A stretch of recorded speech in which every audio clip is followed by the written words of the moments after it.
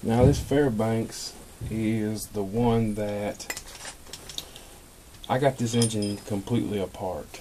Um, and if you go back a couple videos, you'll see the, the video that I did of that, showing the engine when I got the engine. And it was a uh, decent engine when I got it, but I didn't want to paint the engine, uh, and I'm not going to paint the engine. I'm just going to clean it up, kind of like what you're seeing me do here. Just a little lacquer thinner on cloth, and uh, just kind of wiping over it, getting off any grease, oil, dust. I mean, just anything that's on there, I'm trying to remove it uh, before I start uh, actually messing with the head. Okay. Now the thing about this was these two valves are the original valves. Okay. Um, I was going to keep the original valves in it and not spend the money on it.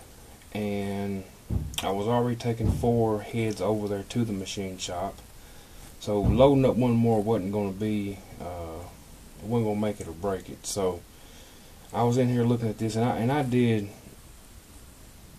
you know, try to get that seat there matching up. And the more I tried, the more I realized that to use these two valves in this head that is already off the engine engine completely apart I've already deglazed the cylinder we're putting new rings in it to use these would be a disservice to uh, to the next guy it would even be a disservice to me because there is no reason why that procedure and new valves should not be put in this head at that point If it was already on the engine and it was running, that may be a different story. But uh, always lean on the side of replacing your valves, and to the point of putting new valve guides in also.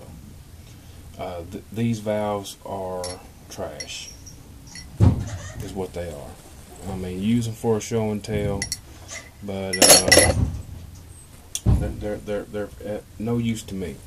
So what I did was, I went over there and I had some old uh, car parts that I had bought at a swap meet a while back. When I say a while back, we're talking some years.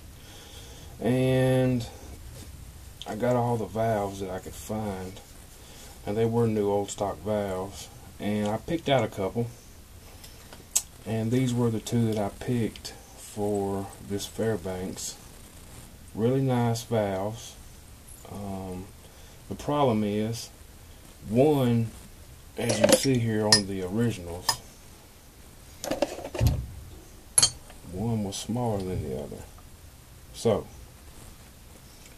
what I had to do was I had to come over there and chop that one there off to make it same size. But at the same time, what I wasn't realizing was, and what the guy over there at the machine shop didn't realize either, is that this valve has a little bit of a I don't know a couple hundred thousand bigger and it won't go all the way in the guide you see it stops there um, and if you try to put it in from the other side it it won't it won't make a seat it has about that much of a lip that uh, that it won't make but these these valves, see the improvement there from the old to the new.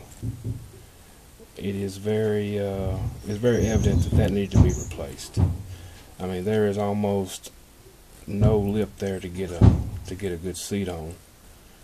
Um, and it's not it's not round around there. It's, it's not uh, it's just not good.